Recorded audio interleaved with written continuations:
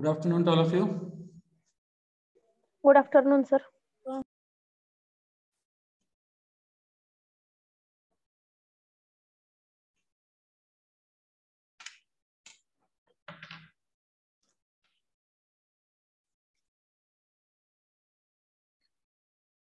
Can you see the slide? Yes, sir. Yes, sir. Okay. So due to uploading of previous lecture, we are starting slightly late. Last lecture, we have completed one important point, big point, factors affecting architectural acoustics and their remedies.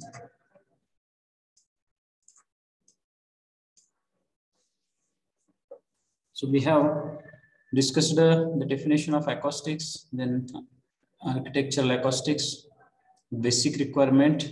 I hope that now you have prepared well. The next is reverberation and time of reverberation definition, Sabin's formula. After that, absorption coefficient definition, it's unit that is open window unit or Sabin also we can say to this.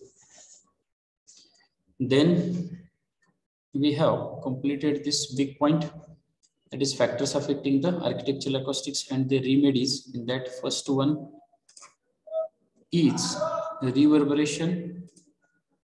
So if it is too large and too small, what happens that we have checked. If it is too large, then we are getting confusing sound, clarity is missing. If it is too small, clarity is there, but up to last point, that sound cannot reach us at all. So for that, what are the remedies that we have discussed? After that, sufficient loudness. Sufficient loudness जर आपल्याला पाहिजे असेल तर आपण काय करतो तर ते आपण इथं या पॉइंटमध्ये चेक केलं next focusing due to walls and ceilings असे काही पोर्शन्स किंवा डिझाईन्स की ज्याच्यामुळं ती जी साऊंड एनर्जी ती ट्रॅप होते तिथं किंवा युनिफॉर्म डिस्ट्रीब्युशन होत नाही तर त्याच्यासाठी काय केलं पाहिजे हे आपण इथं डिस्कस केलं then echoes echelon effect that is series of echoes that we have discussed seats must be gradually elevated then next extraneous noise and sound insulation for that what is meant by noise first that is outside noise then next is what is meant by freedom from resonance that we have discussed so all these terms we have discussed successfully. So let me revise this with one figure. जर आपण एक auditorium consider केलं. ठीक आहे. तर त्यामध्ये आपण या रिक्वायरमेंट्स बघू शकतो. आता रिव्हर्बरेशन म्हणजे काय? तर जर रिव्हर्बरेशन जास्त असेल तर आपण काय करतो? तर त्या केसमध्ये आपल्याला रिफ्लेक्शन जे आहे तर ते कमी केलं पाहिजे ऍब्सॉर्प्शन जास्त केलं पाहिजे. आणि जर रिव्हर्बरेशन स्मॉल असेल तर त्यासाठी आपल्याला साऊंड रिफ्लेक्शन हे जास्त करावं लागतं. त्याच्यासाठी जे रिक्वायरमेंट्स आपण बघितलं की विंडोज व्हेंटिलेटर्स आहेत तर ते आपण ओपन क्लोज करून काय करू शकतो? रिव्हर्बरेशन टाइम ऍडजस्ट करू शकतो.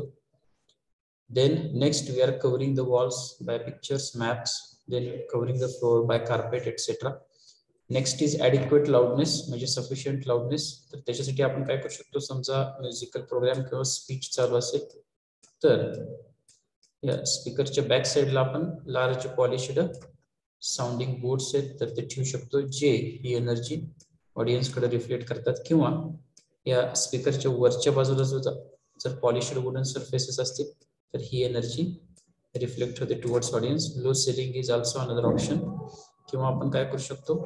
तर बॅक साईडला नंबर ऑफ स्पीकर्स जे आहेत किंवा साऊंड बॉक्स जो आहे तर इथं आपण तो ठेवला तर ही साऊंड एनर्जी आपण इथून पास करू शकतो. Then next focusing due to walls and ceilings म्हणजे असे काही स्ट्रक्चर जे पॅराबॉलिक असतील तर त्याच्यामुळे काय होतं? तर एनर्जी तिथे ट्रॅप होते. तर ती होऊ नये म्हणून आपण याला ऍब्सॉर्बमेंट मटेरियल वापरतो.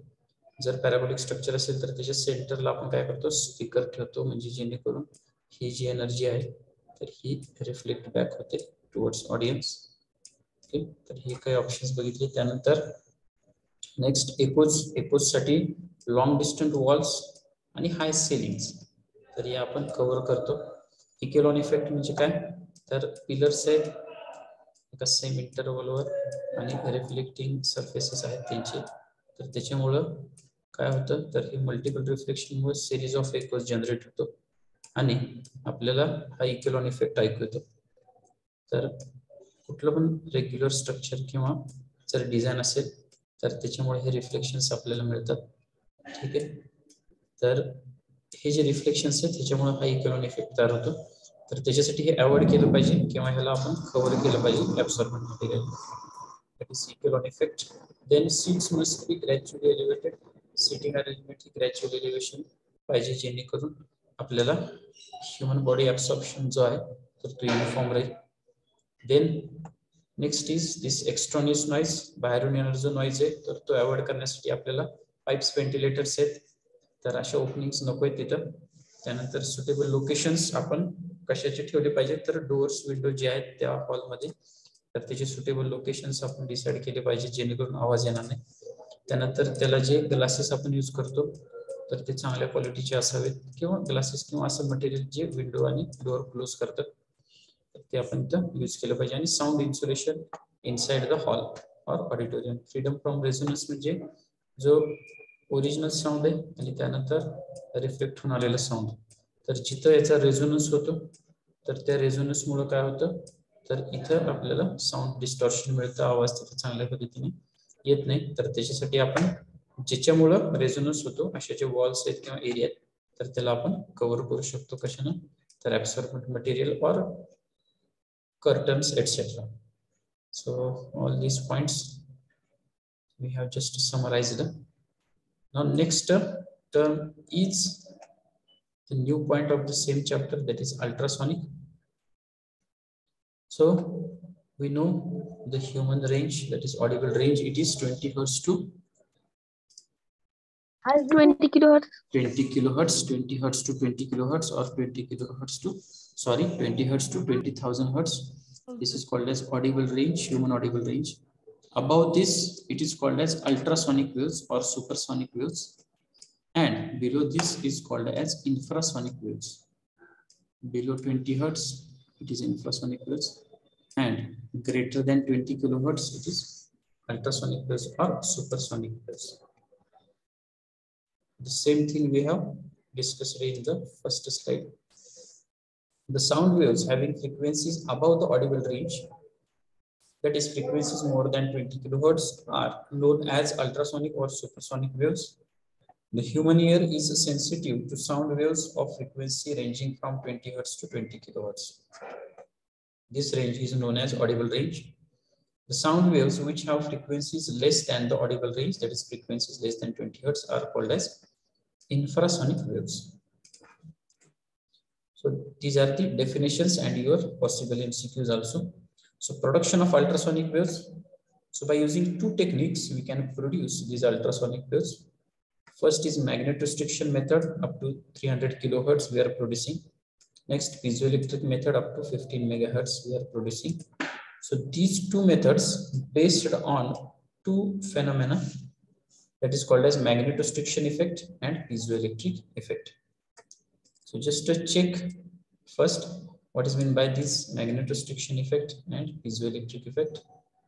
So we take example of first one magnetostriction method which depends upon this magnetostriction effect.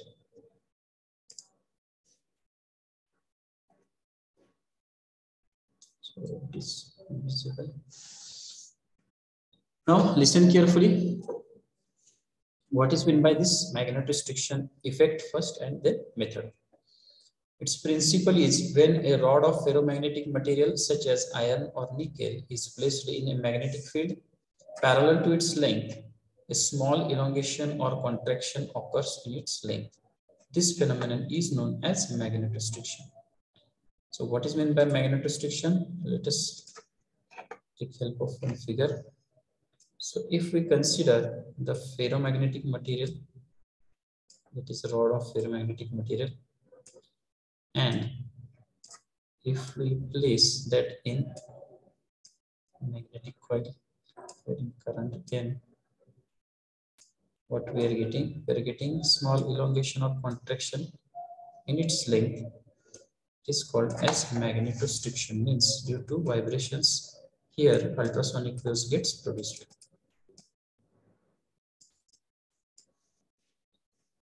So we repeat the definition. When a rod of ferromagnetic material, ferromagnetic material means it is strongly attracting. You have studied this diamagnetic, paramagnetic and ferromagnetic. Is it correct?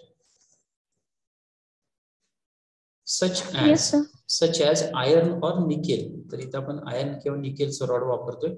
When a rod of ferromagnetic material such as iron or nickel is placed in a magnetic field parallel to its length, So what happens? A small elongation or contraction occurs in its length. This phenomenon is known as magnetostriction.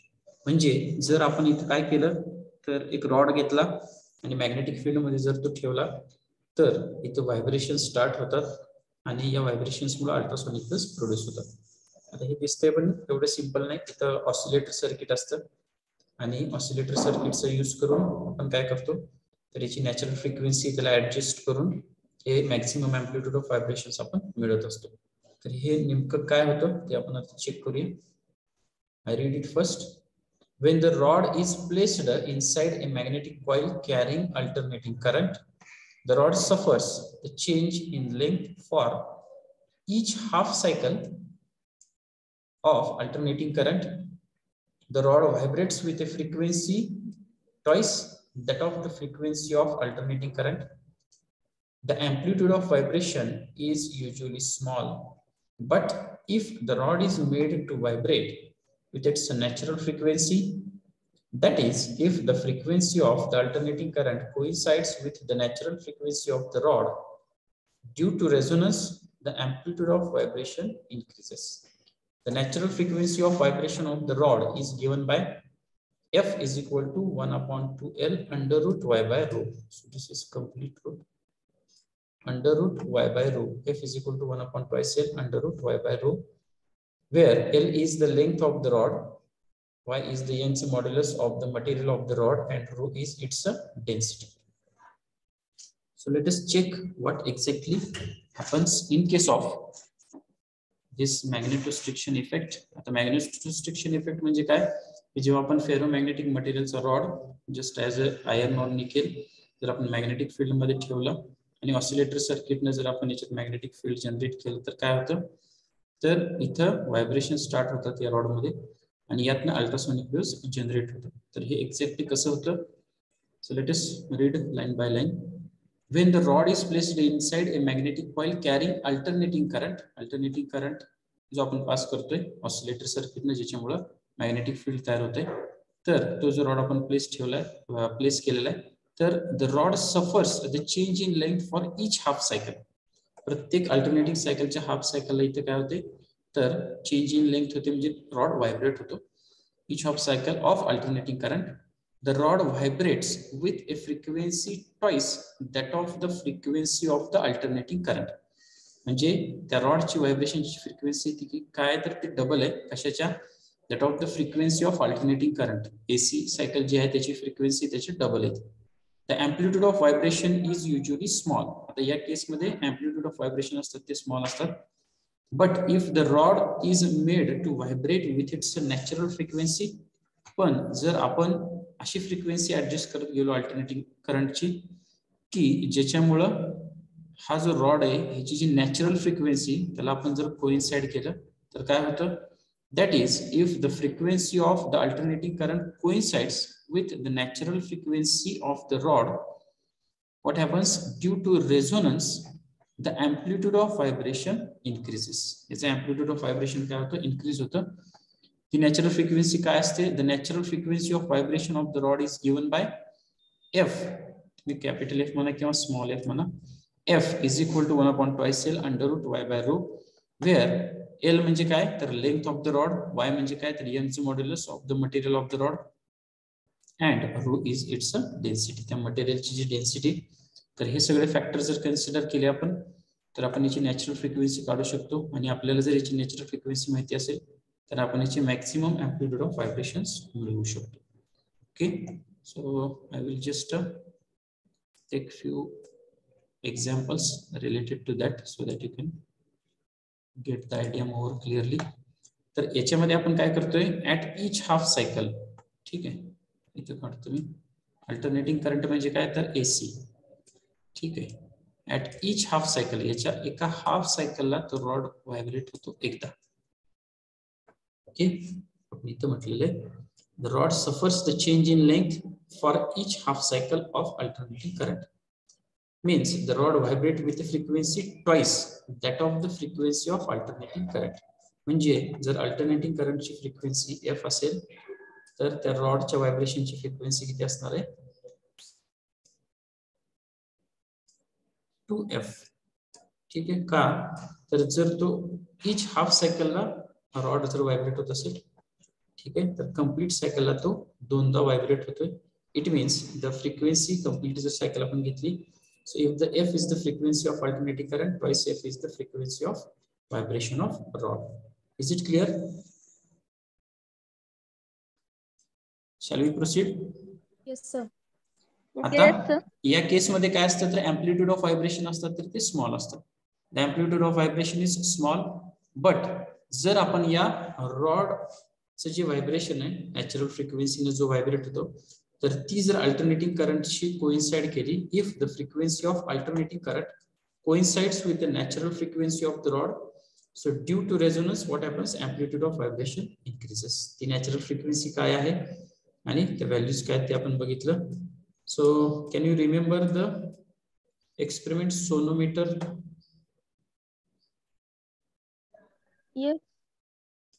Sonometer experiment.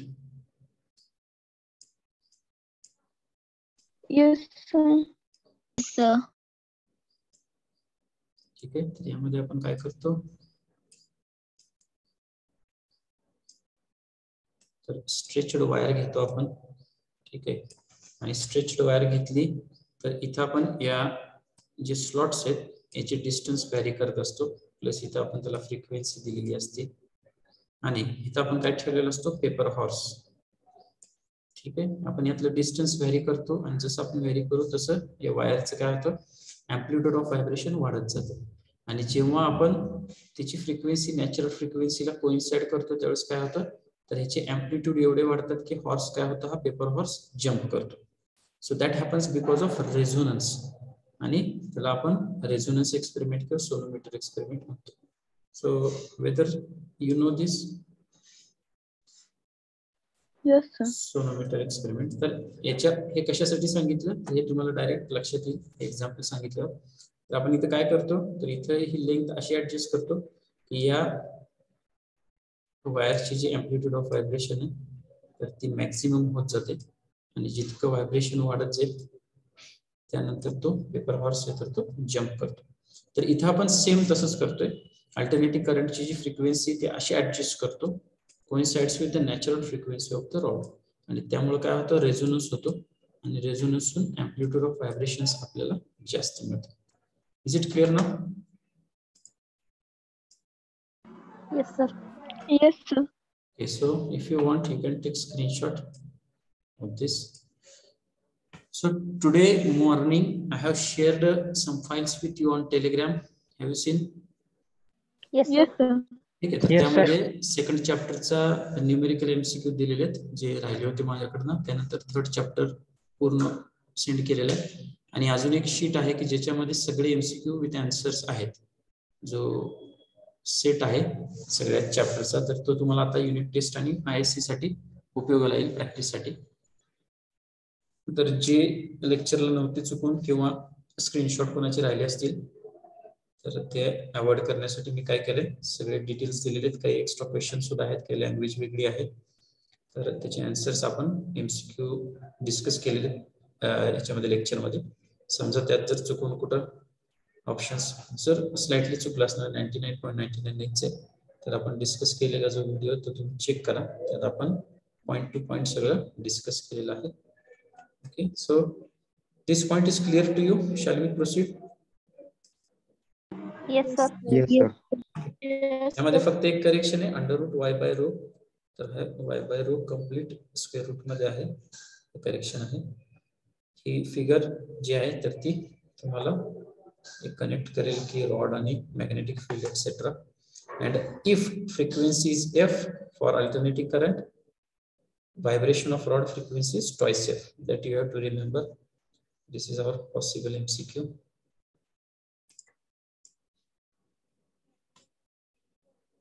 so now we go for the next type that is piezoelectric effect so first we have to check what is meant by this piezoelectric effect and then piezoelectric method तर आज आपण हा point complete करूया आणि इथेच थांबू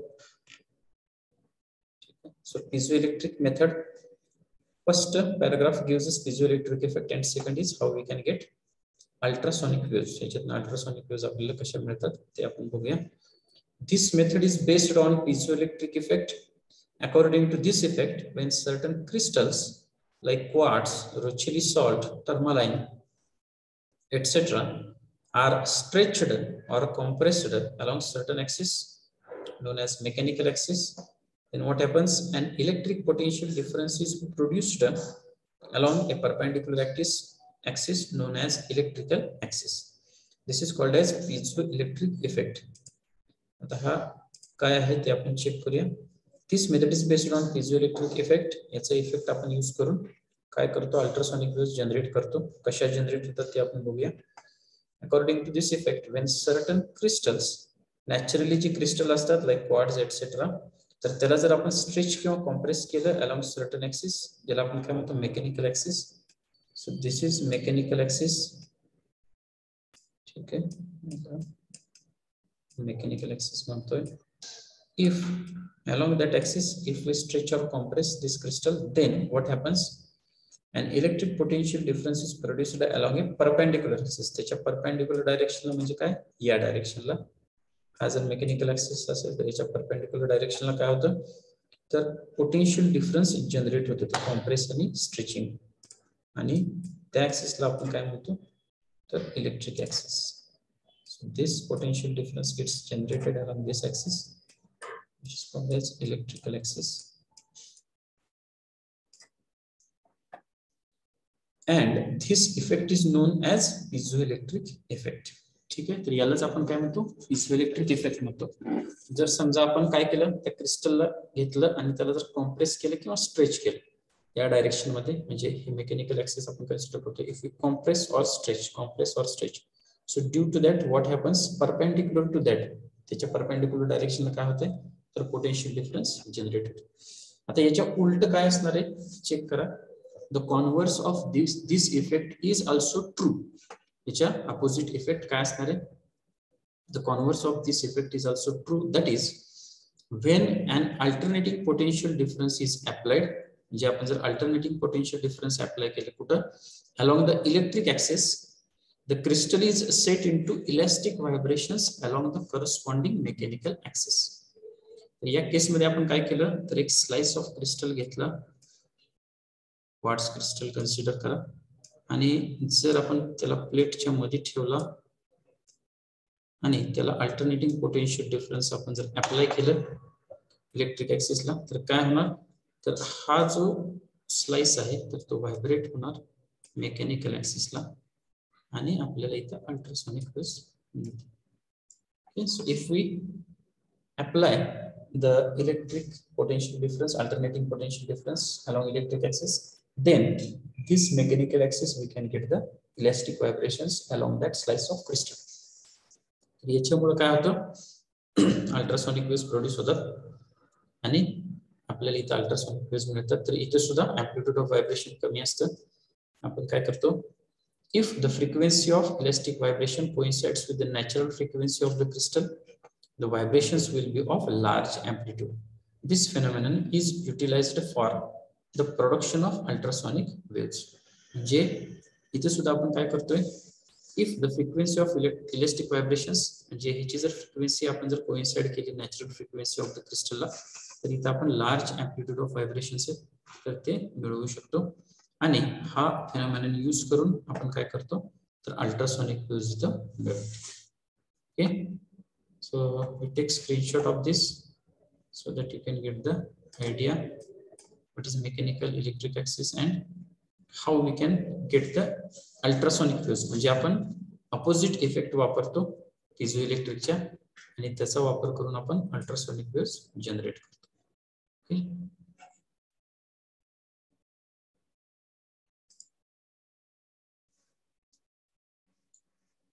So have you taken screenshot? Yes, sir. Yes, sir. Just erase this one.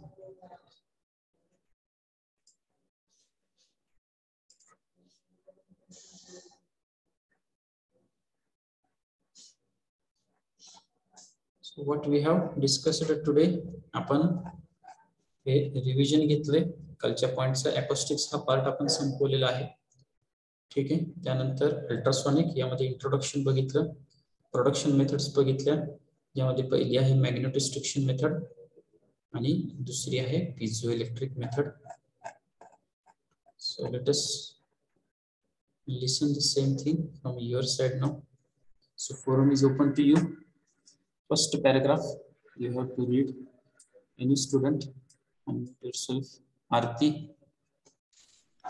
yes sir The sound waves have frequencies above the audible range, that is, frequencies more than 20 kilohertz, are known as ultrasonic or supersonic waves. The human ear is sensitive to sound waves of frequencies ranging, ranging from 20 hertz to 20 kilohertz. This range is known as audible range. The sound waves which have frequencies less than audible range, that is frequencies less than 20 hertz, are called uh, infrasonic waves. then next point is this definition only. We will read magnetostriction effect. Ah prajakta When a rod of ferromagnetic material such as iron or nickel is placed in a magnetic field parallel to its length, a small elongation or contraction occur in its length. Pheno- this phenomenon is known as magnetostriction. okay then this next paragraph tanvi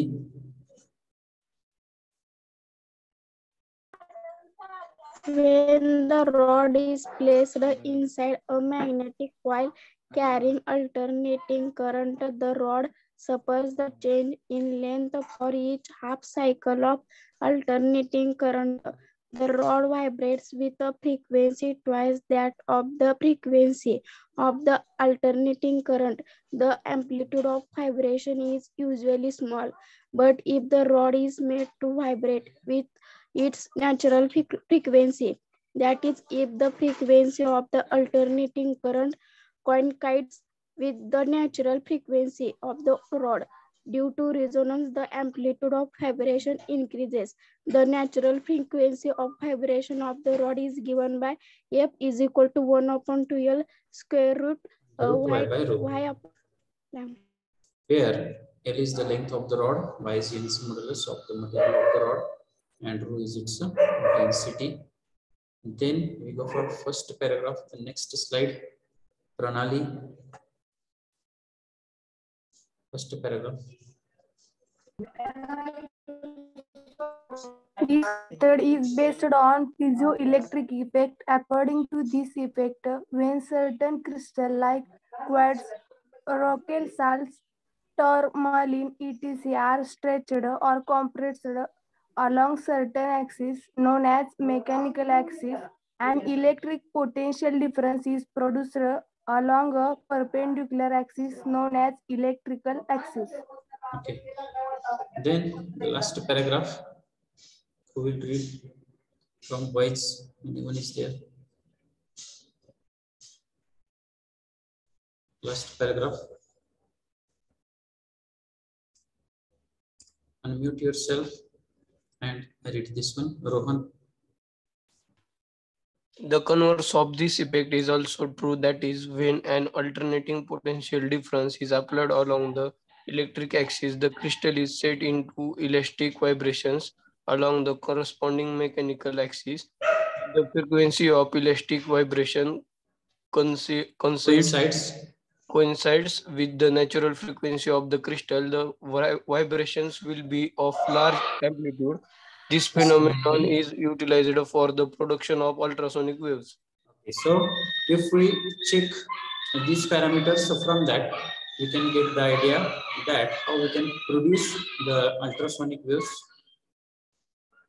तर या points मध्ये आता हे जे या terms आहेत ते तुमचे एमसीक्यू आहे म्हणजे काय ऑडिबल रेंज काय असते twenty hertz to twenty kilo hertz then ultrasonic waves म्हणजे अबाव ट्वेंटी किलो हर्ट्स त्यानंतर इन्फ्रासॉनिक म्हणजे frequency less than twenty hertz it's called as infrasonic then magnetostriction method piezoelectric method ज्याच्यामध्ये magnetostriction effect म्हणजे काय? Ferromagnetic material आपण यात वापरतो. Example कुठले कुठले?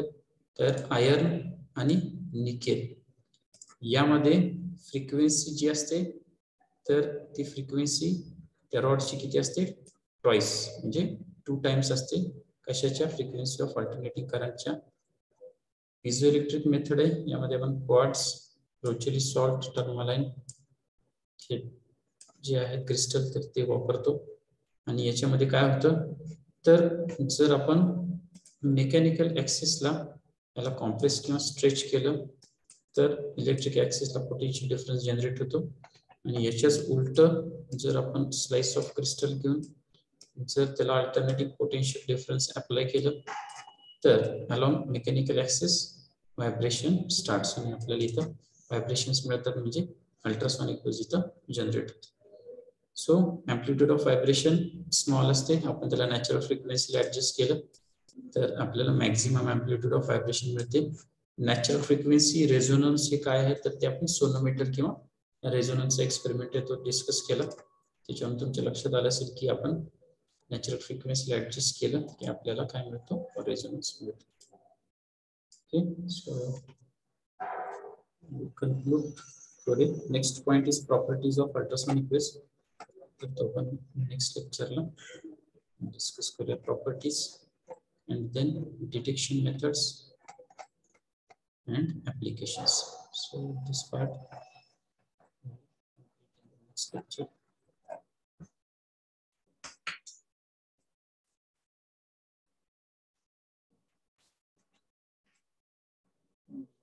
Number 10, 15, 20, 22, 29, then 34, 37, 38, 40, 45, 48,